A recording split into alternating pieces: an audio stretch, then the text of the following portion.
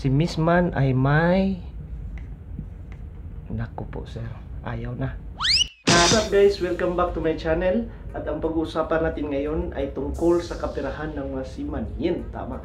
Tama ang narinig nyo, kapirahan. Lubha pong sensitibo ang pag-uusapan natin ngayon dahil nga po ito po ay tungkol sa pera. Now, kung nagtataka kayo bakit yung iba mababa, yung iba malaki kasi guys, meron tayong posisyon dito sa barko. In every position, syempre malaki yung sahod kung maltaas din yung posisyon mo. So, ito po ay tungkol sa standard. Pag-usapan lang po natin ang standard na sweldo kasi po ah, hindi po lahat ng barko, klase ng barko ay pareho-pareho yung sahod. So, we are in a bulk career right now and pag-uusapan natin is tungkol sa sahod ng mga Pilipino na seaman. Ilang ipapakita ko sa inyo guys, baka magtaka kayo, baka sabihin nyo na mas mataas pa ang sahod ko. Yes, tama yun. Depending on your company, kung mataas magpabigay yung company nyo, mas maganda kasi mas mataas pa dito sa standard. So, excited ba kayo? Ako rin, excited na at kinakabahan dahil baka may magalit sa akin sa ginagawa ko ng video na to pero who cares? Alam, alamin nyo dapat kung magkano ang sweldo ng mga kakilala nyo para hindi kayo magtaka kung minsan eh, nagtitipid kasi kailangan din magtipid minsan guys kasi alam nyo naman mahirap din mag-standby ng matagal sa Pilipinas. Wala kang pera. So simulan na natin guys. Ha let's go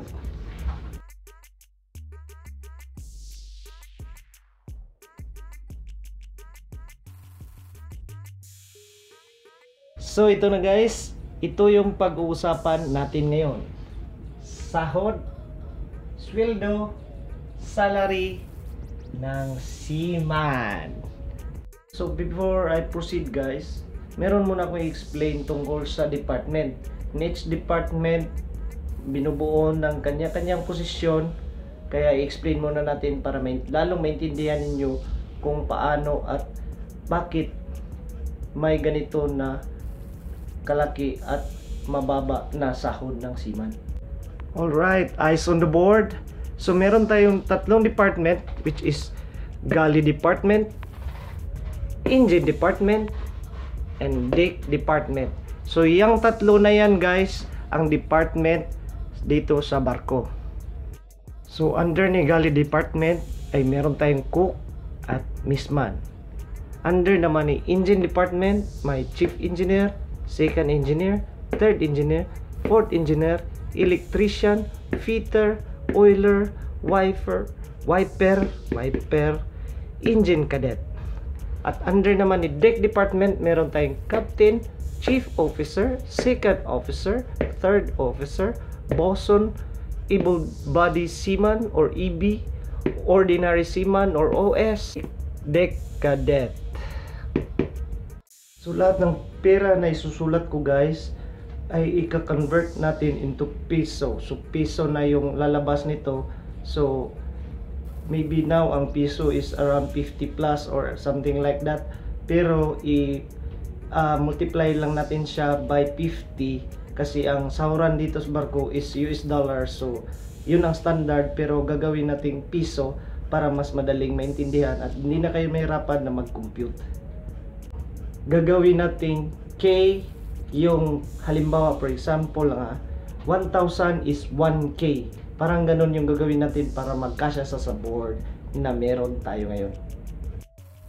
So magsisimula tayo kay Miss Man Miss Man ay may 20K to 70K si Chief Cook naman ay may 80K to 99K. Marami-raming K yan. So, punta na tayo sa engine department at ang unang susulatan natin ay si engine cadet. Si engine cadet ay may 10K to 37.5K. Si wiper naman ay may 45 K pumuputok malakas pumutok to 61K 45k to 61k si Wiper. Si Wheeler naman ay merong 69k. Ay, kaiba to. Meron tong kakaiba. To 70k. Yan. Yan yung sweldo niya. At ang panguli sa ratings ay si Fitter. Ang ratings guys ay uh, wala po siyang rank. So, 87k to 95k. Yan po ang mga sweldo ng ratings monthly, monthly sa engine department. So dito na tayo guys sa mga engineer sa engine department at nagsisimula tayo kay elect. Si elect ay may 200k to 283k. Si port engineer naman ay may 101k to 150k. So, yung ano natin ngayon, ngayon guys ay nag 6 digit na. So, yung mga officers namin ay may 6 digit sa sweldo nila buwan-buwan.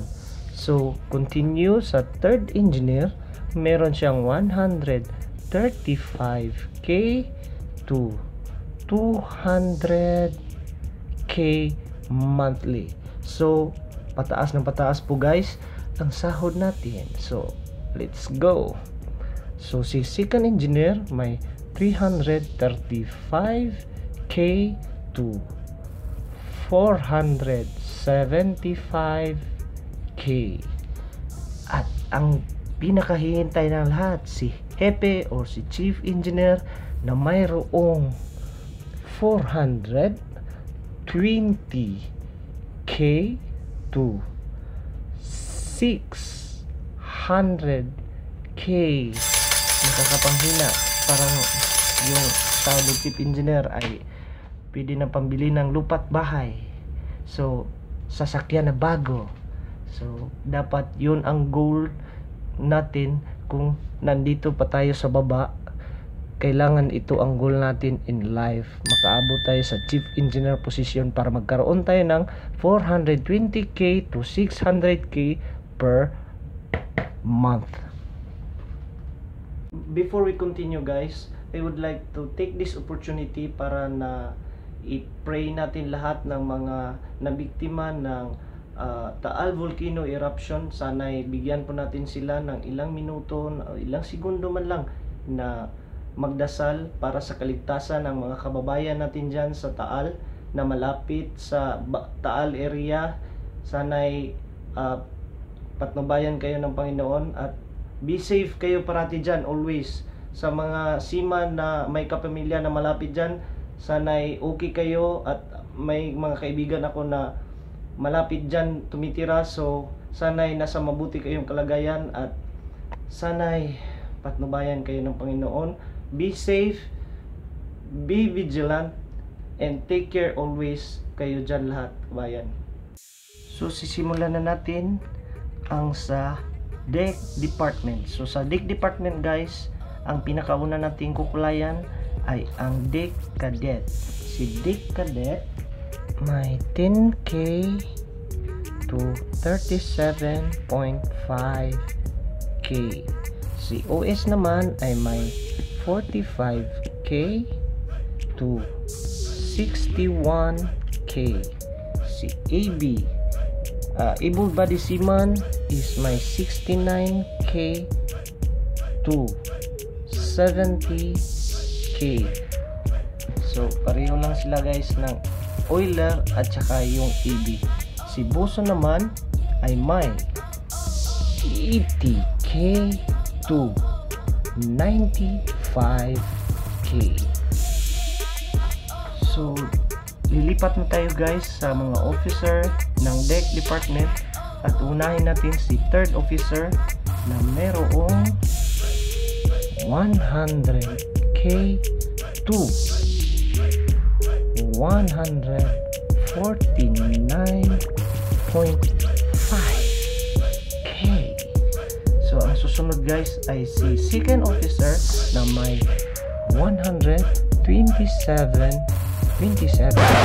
27 2k 2 175k ang susunod naman ay si chief officer na merong 300k 2 400 75k per month. At ang pinakahuli, ang pinaka mataas na posisyon dito sa barko, he is na uh, owner's representative. Siya po ang overall command ng barko sa lahat ng mga tao na sinabi ko dito sa lahat ng barko. Siya ang nagdadala ng barko. Si Kapitan, si Tano, si Captain Kapitan ay mayroong 405k to 605k. Kung kikikihin mo yan, eh marami-raming k yan. Hindi abutin ka ng kinabukasan ng kikikikikik dyan. So, dun, ganun din guys, para sa mga deck department o mga nag-ambisyon na maging seaman, dapat dito rin ang aim nyo sa kapitan kasi dyan dapat dito ka magbabase sa sweldo which is 405k to 605k per month. So meron nga pala akong isa shoutout guys.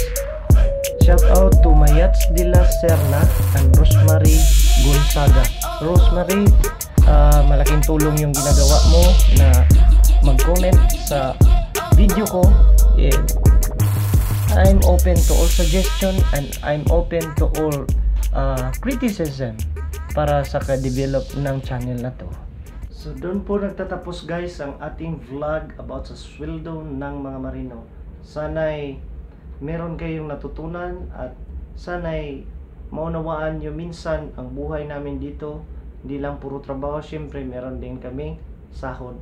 In every hardship, there's a reward. Always and forever as long as sumasakay ka ng barko. Sana'y naliwanagan ko kayo guys at nag-iwan na naman ako ng isang salitang walang malaking sahod kung one day millionaire ka. Goodbye!